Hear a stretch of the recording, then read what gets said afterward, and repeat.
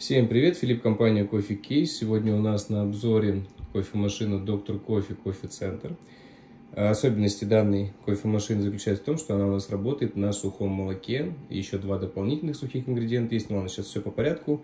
А, но также недавно появилась у данной кофемашины комплектация с живым молоком. То есть у нее здесь сбоку выходит трубочка, как у всех а, остальных модели Доктор Кофе. Вот, и можно работать как и на живом, как и на сухом, и остальных там сухих ингредиентах. Ну, в общем, функционал становится еще шире. Значит, что у нас здесь есть? Здесь у нас есть бункер на полтора килограмма. Дальше, внутри у нас заварничок здесь э, от 6 до 21 грамма кофейка в себя вмещает. Бункер под отходы у нас здесь на 70 порций. В общем-то, да, он такой огромный. Значит, э, сборы, под сбор капель поддон у нас на 800 миллилитров. Идем дальше. Не опорожнен. Так, кофемашина у нас может работать от э, водопровода, либо можно просто армированный шланг кидать в бутыль с водой. Кофемашина хорошо забирает воду и работает. Значит, также у нас здесь возможно подключение MDB платежных систем. Э, и данная кофемашина будет хорошо подходить э, под стойки самообслуживания. Вам придется только приезжать по вечерам, засыпать зерно, засыпать ингредиенты, выкидывать отходы и тому подобное. Значит, тут у нас еще идут три контейнера под сыпучие ингредиенты. Самый большой используют чаще всего под сухое молоко, потому что больше всего расходуется. Дальше по стандарту идет горячий шоколад. И вот сюда уже можно добавлять все, что мы захотим. Я пробовал готовить напитки на сухи, сухой смеси РАФ. На сухой смеси она называется ванильный капучино. Вот, а, там классно ее, если смешивать вместе с а, сухим молоком, добавлять кофеек. Получается такой, что-то наподобие венского кофейка получается. Вот, и также пробовал сюда еще добавлять, тоже в сухом виде, чай. Тоже классно заваривается, тоже вкусная штука. Идем дальше. Теперь давайте пройдемся по функционалу данной кофемашины, по напиткам, там настройкам и тому подобное. Можно делать различную раскладку. Давайте сразу же покажу вам, как ее менять. Сервисное меню. Чтобы вот этой истории не было, что в бок нужно листать, да, можно сделать по-другому. Индивидуальные настройки. И вот здесь выбираем режим отображения напитков. Ну, например, 3 на 6 пускай будет. Сохранить, выходим назад. И теперь все напитки, которые у нас настроены на кофемашине, все сразу же на первом экране. Также, что можно еще сделать? Вот, например, вы хотите продавать американо не одного объема, да, а трех объемов сразу же, там 200, 300, 400 миллилитров. Можно на одну кнопку запрограммировать все три объема, чтобы у вас не было такого американо 200, американо 300, американо 400. У вас все, все напитки под одной, все объемы под одной кнопкой. Нажали на американо, он нам предлагает маленькую, среднюю, большую, нажали ОК. И здесь еще раз начать и погнали. Вот это можно тоже менять. Э, это называется в меню, вспомнить бы сейчас, управление процессом, по-моему, так. То есть в процессе приготовления напитка можно добавлять себе немножко зерна, добавлять водички и тому подобное. Но лучше, наверное, эту функцию все-таки отключать, не использовать, потому что неумелый человек может что-то себе не того добавлять и либо получится невкусно, либо закончится что-нибудь не тем. Поэтому лучше эту функцию, конечно, отключать.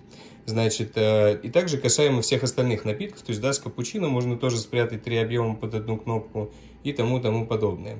Значит, э, еще лайфхак, недавно только сам узнал. Значит, если у вас такое случилось, что в процессе приготовления, да, например, э, капучино, у вас готовился капучино, случилось так, то, что перестала подаваться вода в кофемашину. Ну, по всяким причинам бывает, если у вас с бутыля, например, воду качает кофемашина, вода в бутыле закончилась, вы не заметили, сыпучий ингредиент насыпался в воронку, э, и водой его не смыло. Давайте посмотрим воронку.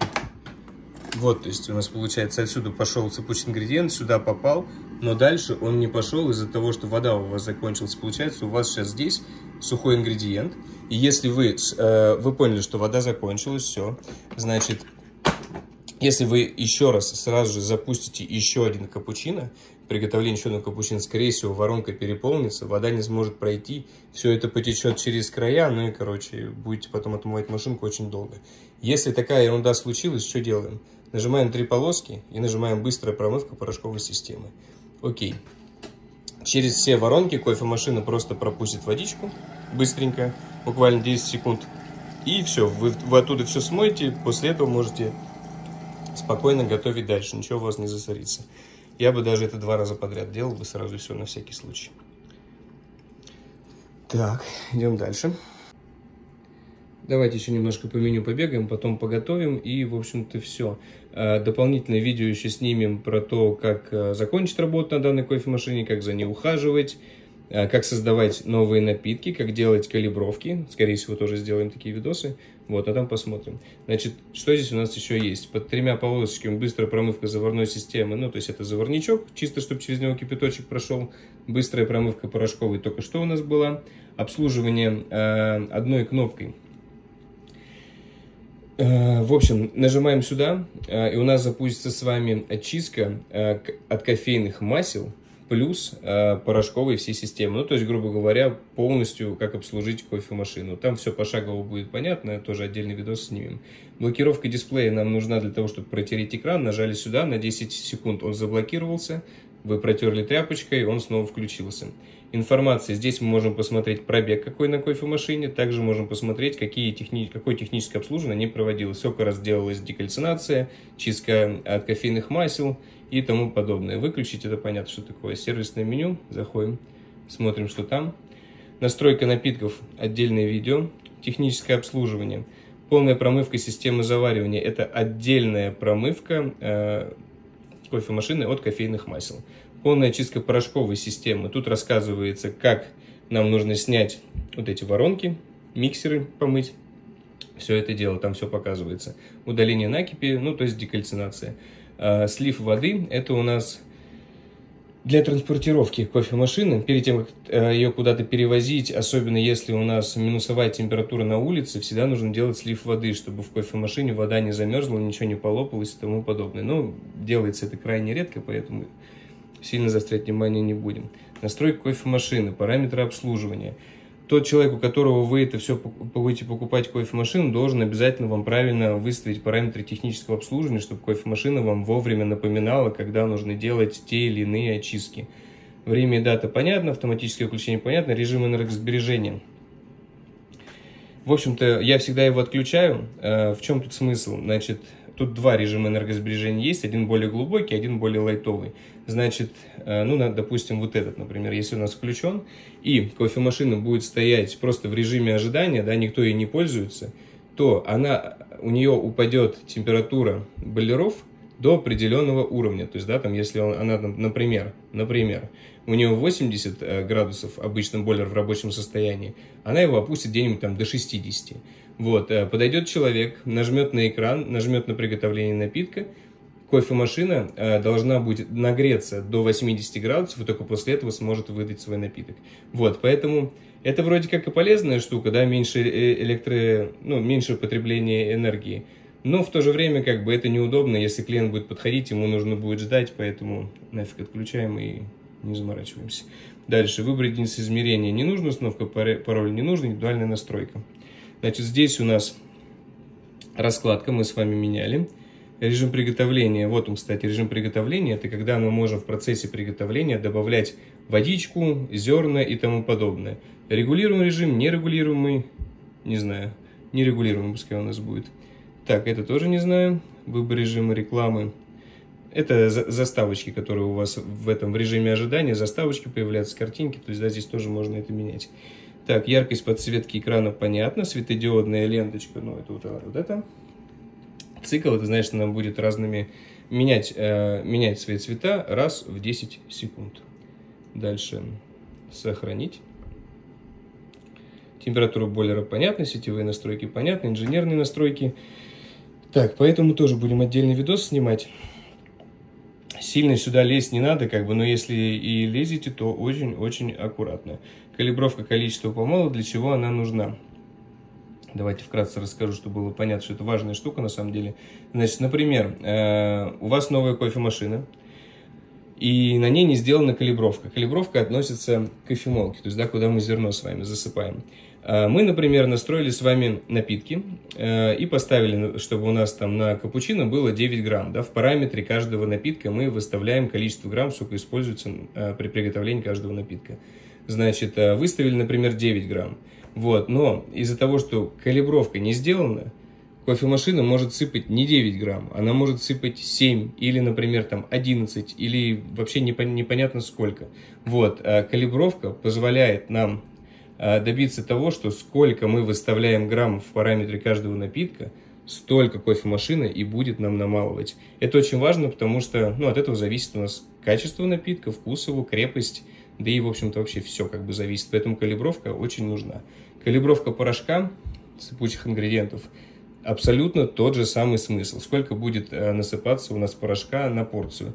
Тут это тоже очень важно, потому что если будет сыпаться очень много, воронки засорятся, все потечет через, через верх. Ну, реально, реально потом замучить все отмывать.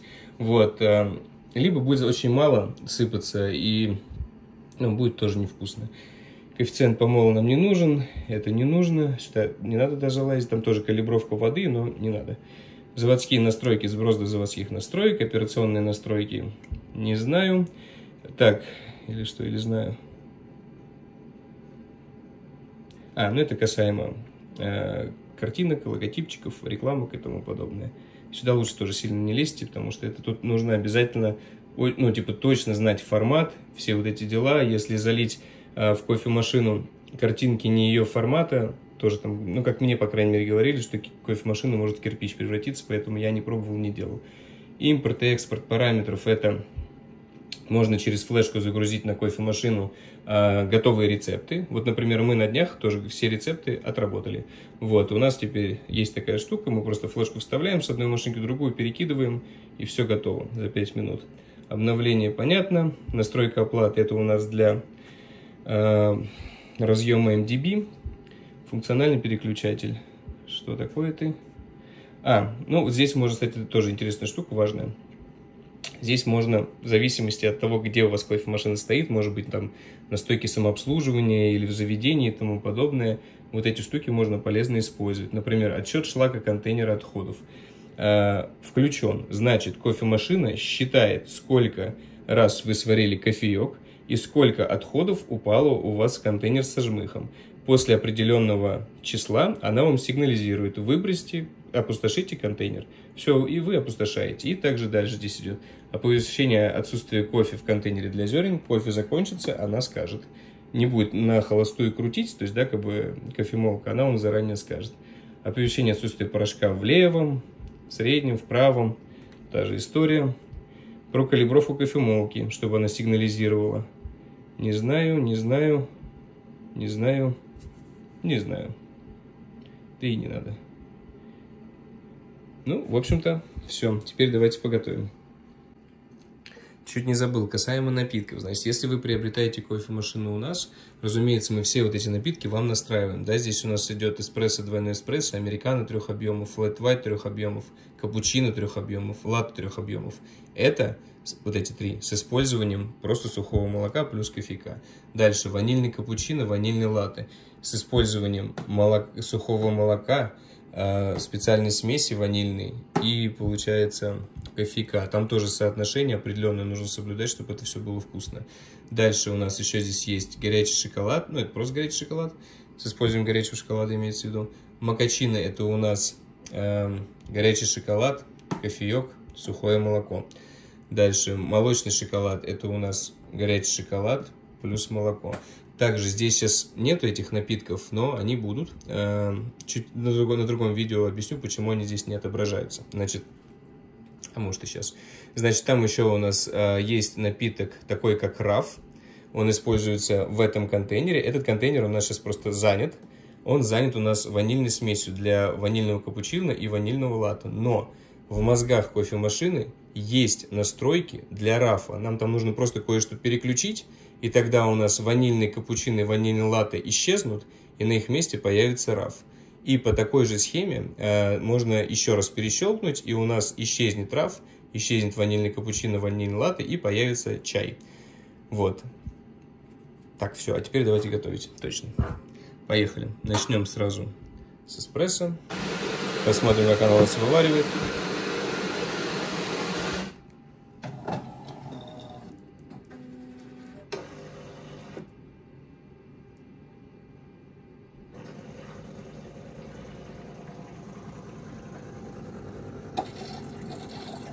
У нас стоит средняя степень экстракции. Если слышите, как помпа работает, она так... За счет этого у нас кофеек вываривается получше.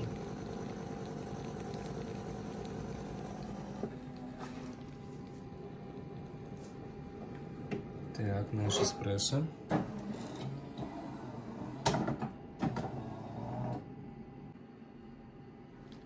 Идем дальше. Американо.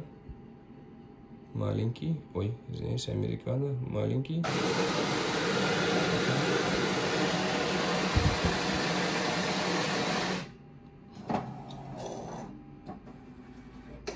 Вот у нас как раз переключатель там стоит, чтобы нам кофемашина говорила, когда у нас кофе закончится.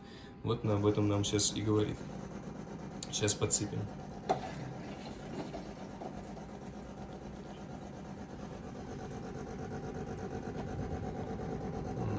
У нас какие крема получаются.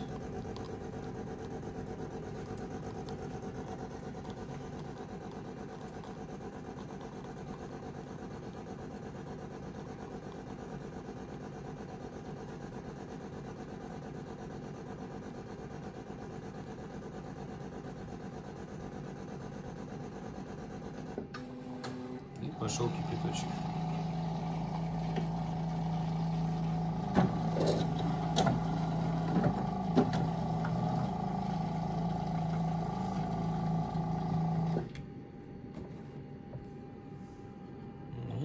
Наш американо готов. Поехали дальше. Так, давайте-ка мы с вами что-нибудь приготовим теперь. Надо что-то интересное. Вот давайте Ванильный латте пускай будет у нас. Окей. Так, у нас пошло... Сначала пошел, пошла ваниль.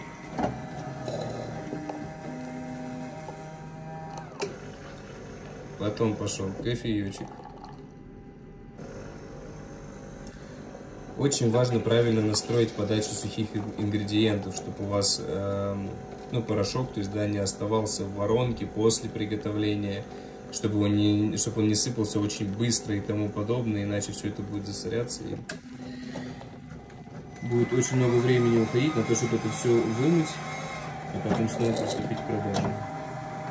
И сухое молоко у нас пошло. Так, есть. Забираем. Ну, разделения здесь, конечно же, у нас не будет. Вот. Но, тем не менее, по вкусу будет легкий такой молочно-ванильный напиток. Так, ну и контрольно давайте приготовим с вами макачино.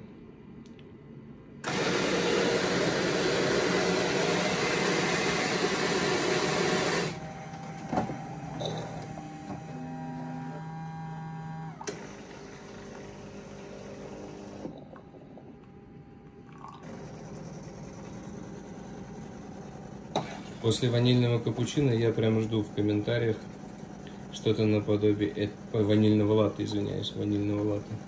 Что-то наподобие это не латте. Или каких-то таких комментариев. Все читаю, всем спасибо за, за внимание. Кофеек пошел. И пошло у нас сухое молоко.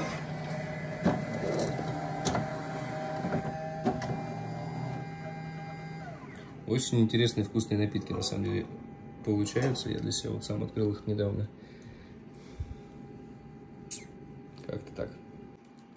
В общем-то все, наш обзор э, подходит к концу. Значит, если вам было полезно, интересно и тому подобное, нажимайте на колокольчик, ставьте палец вверх, подписывайтесь и пишите в комментариях, что еще дополнительно вам рассказать про эту кофемашину, про другие модели, что еще может быть полезно обычному пользователю, да, то есть который не как я занимается кофемашинами, там технических как-то знает, а тот, кто использует эти кофемашины ежедневно. У вас, я думаю, свои какие-то там моментики интересные есть.